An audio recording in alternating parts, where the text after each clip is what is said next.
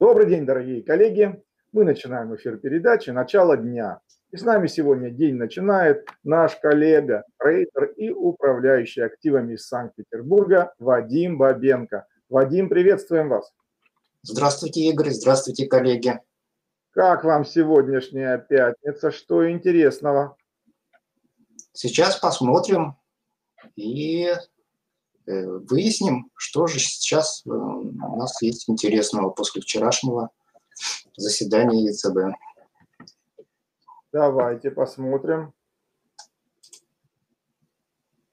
Как вы сами вчера, Вадим, получилось заработать на этих всех э, э, метаниях или, или не получилось?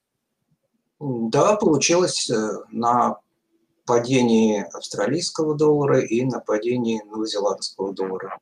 Супер, супер. Видим хорошо. Вам слово.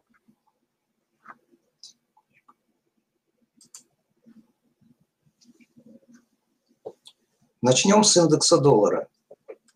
После вчерашнего заседания ЕЦБ э, Марио Драги обозначил дальнейшее снижение ставки э, в сентябре и введение дальнейшей программы количественного смягчения.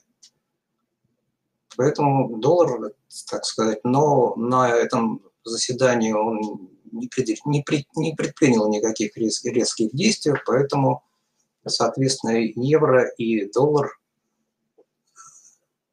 э, отреагировали на это дело более спокойно, чем могло бы быть при каких-то кардинальных решениях прямо уже на этом заседании. Но общая как бы картина все равно, раз, э, скажем, программа была анонсирована в дальнейших действиях, э, то доллар начал укрепляться. Посмотрим на индексе доллара, как это отразилось. Как мы видим, если вы помните, когда индекс доллара э, был внизу, где-то вот на этих значениях, я вам говорил, что вполне возможен такой сценарий, что начнется укрепление доллара. Вот сейчас мы наблюдаем э, эту, эту картину, и мы видим, что доллар сейчас находится в импульсе, находится в восходящем канале, и, так сказать, демонстрирует все признаки укрепления. Какие могут быть дальше сценарии? Потому что как мне кажется, надо все время на ситуацию смотреть несколько э, глубже и, или с высоты и рассматривать все возможные сценарии. Я вам сейчас обозначу, что может быть.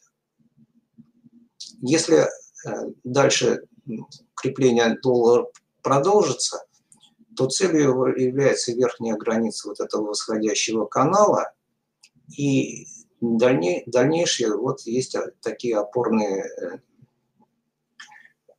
уровни сопротивления, при преодолении которых, особенно в 98-25, мы увидим картину, предполагающую э, дальнейшее укрепление доллара. При этом образуется некоторый вот такой восходящий канал – я его нарисовал штриховую линию на недельном графике, которая показывает, что этот канал, э, что мы будем видеть движение доллара э, в этом, индекса доллара в этом канале и что означает, скажем, дальнейшее укрепление доллара. И такой сценарий, как мне кажется, нельзя, нельзя исключать, потому что мы пока еще не знаем, что будет на заседании Федеральной, Федеральной расчет, расчетной системы. Теперь, если с, текущ, с текущих значений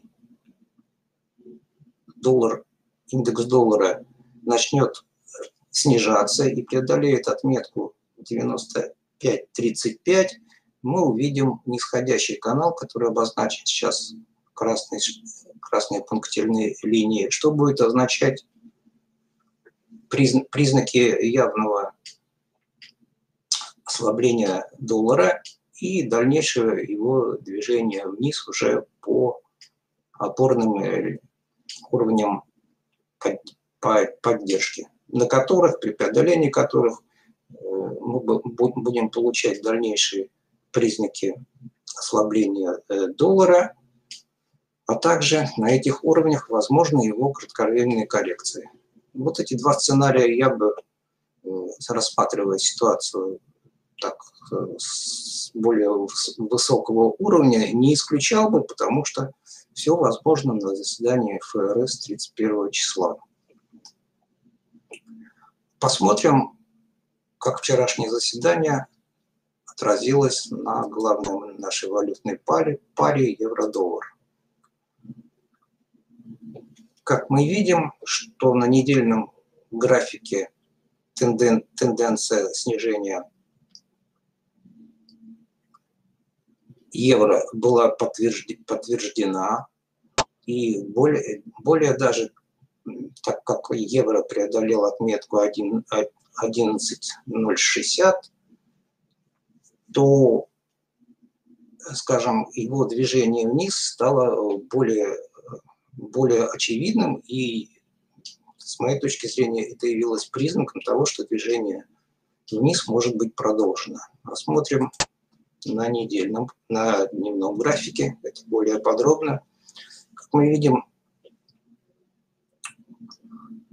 евро вчера на выступлении Марио Драги и на оглашении ставки совершил движение и вниз, и вверх. И, в общем-то, вчера, вчерашний день был торжеством аналитиков, Э, всех э, как бы мастей, которые оказались все правы. И то, что доллар пойдет вверх, евро пойдет вверх, и то, что евро пойдет вниз, и то, что ничего не, не изменится, в среднем тоже все оказались правы.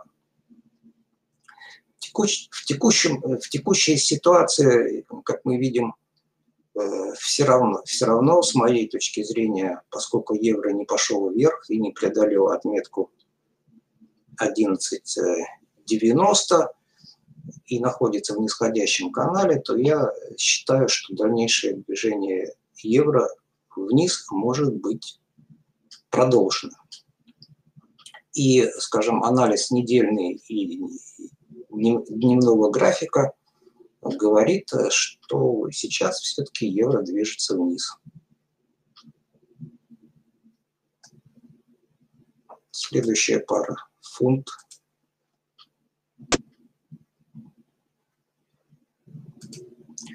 По фунту все достаточно однозначно. Фунт двигается вниз, и текущее сообщение о том, что э, никакого иного договора по Brexit не будет, не вселяет оптимизм дальнейшего как бы, движения фунта вверх. Поэтому пока сейчас рассматриваем только возможные варианты движения фунта вниз. швейцарский франк. На недельном графике мы видим, что общая тенденция вниз, однако швейцарский франк сделал попытку выхода из нисходящего канала.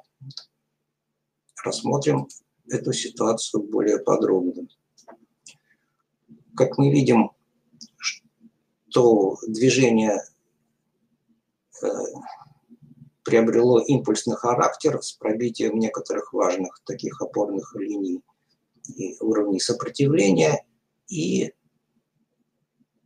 швейцарский франк э, движется сейчас к уровню, важному уровню поддержки 99,50, при преодолении которого мы увидим вот такой восходящий, восходящий канал, что подтвердит э, дальнейшие перспективы, скажем, ослабления э, швейцарского франка. С целью э, вхождения цены в область паритета, ну а дальше мы будем смотреть, что из этого будет выходить. Увидим.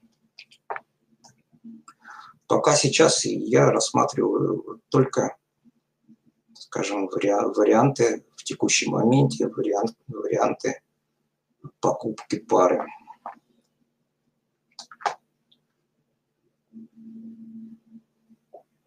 Следующий, японская иена.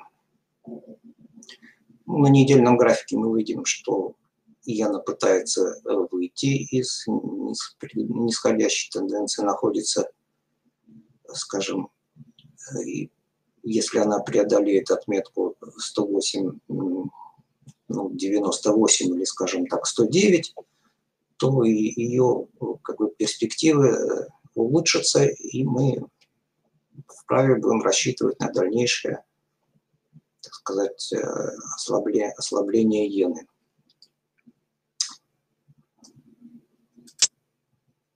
На недельном графике мы видим это под, под, под, подробнее. Ну, сейчас я как бы не могу сказать, потому что в принципе, в принципе и сейчас можно было рассматривать покупки иены. Но я бы, наверное, подождал, подождал бы сейчас, если, если иена преодолеет отметку 109, то тогда можно уже будет искать точки входа на дальнейшую покупку пары.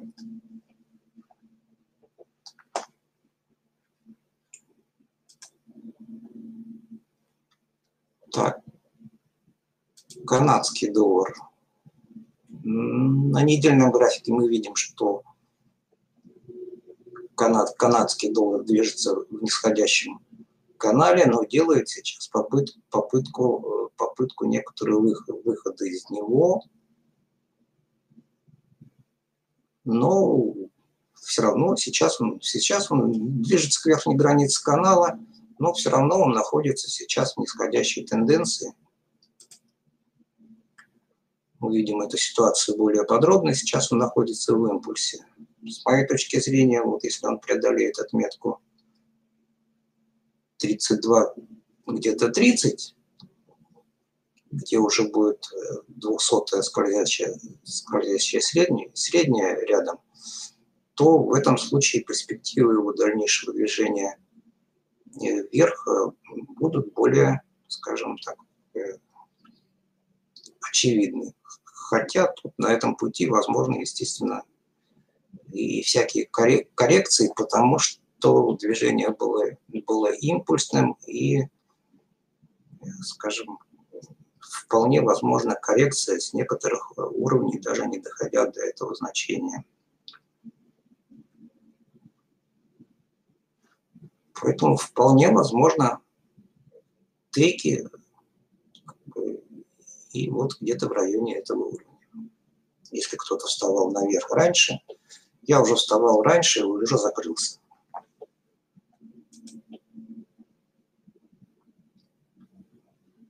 Австралийский доллар. На недельном графике мы видим, что попытка движения австралийского доллара наверх э, потерпела неудачу он вышел из э, восходящего канала, и теперь, как мы видим, движет, движется вниз, и пока как, перспективы его движения, дальнейшего движения вниз э, сохраняются.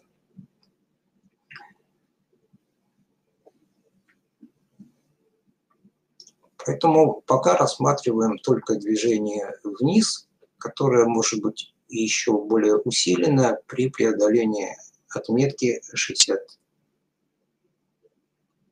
69.09.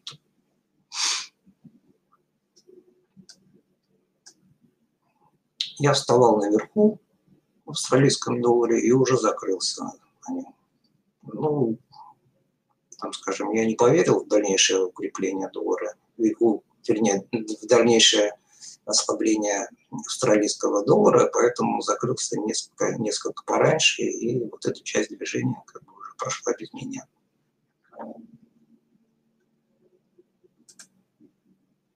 Новозеландский доллар.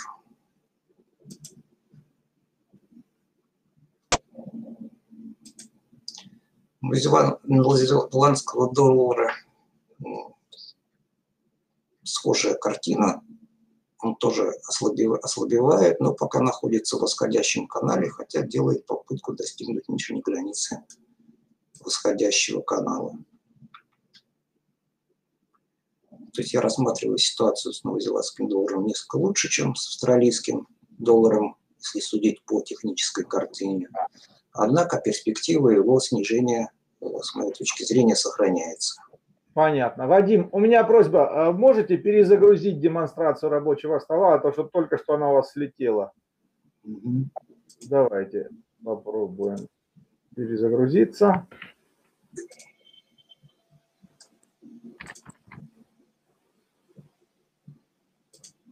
Бежит интернет, бежит, бежит. Все, видим хорошо. А на чем прекратилось на, на новозеландском долларе? А, да, новозеландский доллар. Ну, мы видим, что новозеландский доллар, э, так сказать, э, ослабевает э, вместе с другими валютами, вместе с, австралийским долларом. Но по, пока еще находится, если австралийский доллар вышел из границы восходящего канала, то новозеландский доллар пока еще только ослабевает и приближается к этой границе. Поэтому посмотрим, как он дальше будет себя, себя вести.